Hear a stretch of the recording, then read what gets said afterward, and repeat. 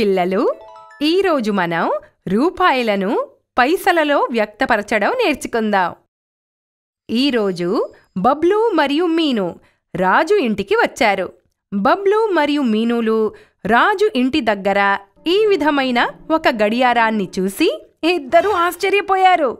రాజు వారిని కారణం అడిగినప్పుడు వారిద్దరూ అతనితో తమ ఇళ్ళలో కూడా సరిగ్గా ఇలాంటి గడియారమే ఉందని అన్నారు.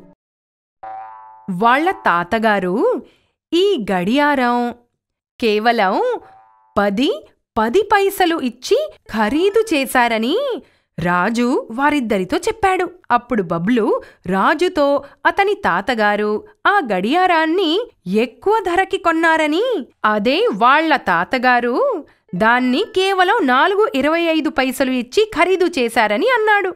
అప్పుడు మీను వాళ్ళతో వాళ్ళిద్దరి తాతలు ఆ గడియారాన్ని ఎక్కువ డబ్బులు ఇచ్చారని అదే వాళ్ళ తాతగారు కేవలం రెండు యాభై పైసలు ఇచ్చి ఆ గడియారాన్ని ఖరీదు చేశారని అంది. పిల్లలు మీకు గుర్తుందా?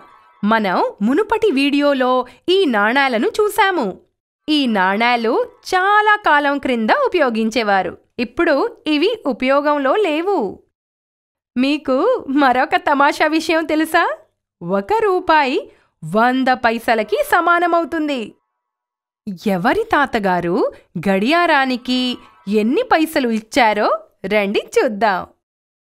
రాజు వాళ్ళ తాతగారు గడియారాన్ని ఖరీదు చేయడానికి పది పది పైసల నాణేలు ఇచ్చారు. పది పది పైసల నాణేలు మొత్తం ఎన్ని పైసలయ్యాయి?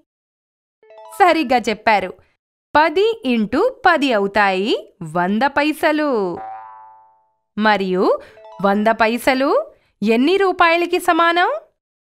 ఒక రూపాయికి. రాజు యొక్క తాతగారు గడియారాన్ని ఒక రూపాయికి కొన్నారు. ఇప్పుడు బబ్లు వాళ్ళ తాతగారు గడియారానికి ఎన్ని పైసలిచ్చారో చూద్దాం. బబ్లు వాళ్ళ తాతగారు గడియారాన్ని కొనడానికి నాలుగు ఇరవై ఐదు పైసలు ఇచ్చారు. బబ్లు వాళ్ళ తాతగారు గడియారాన్ని కొనడానికి ఎన్ని పైసలు ఇచ్చారో మీరు చెప్పగలరా? అవును. బబ్లు వాళ్ళ తాతగారు నాలుగు ఇంటూ ఇరవై ఐదు లేదా వంద పైసలు ఇచ్చారు. ఈ విధంగా బబ్లు వాళ్ళ తాతగారు కూడా వంద పైసలు లేదా ఒక రూపాయికి గడియారాన్ని కొన్నారు.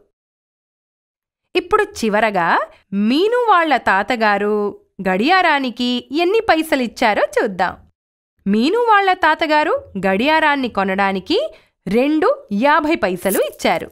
అయితే మీను వాళ్ళ తాతగారు గడియారాన్ని ఎంతకి ఖరీదు చేశారు? రెండు ఇంటూ యాభై లేదా వంద పైసలకి ఖరీదు చేశారు. అరే ఇదేంటి? మీను వాళ్ళ తాతగారు కూడా గడియారాన్ని ఒక రూపాయికే కొన్నారు. వాళ్ళ తాతలందరూ గడియారాన్ని ఒక రూపాయికే కొన్నారు అని రాజు బబ్లు మరియు మీనులకి ఈ విషయం అర్థమై వారు నవ్వడం మొదలుపెట్టారు. పిల్లలు ఈ వీడియోలో మనం రూపాయలని పైసలతో వ్యక్తపరచడం నేర్చుకున్నాము. తదుపరి వీడియోలో మనం కొన్ని ఆసక్తికరమైన ఉదాహరణలతో దీని గురించి మరింత తెలుసుకుందాం.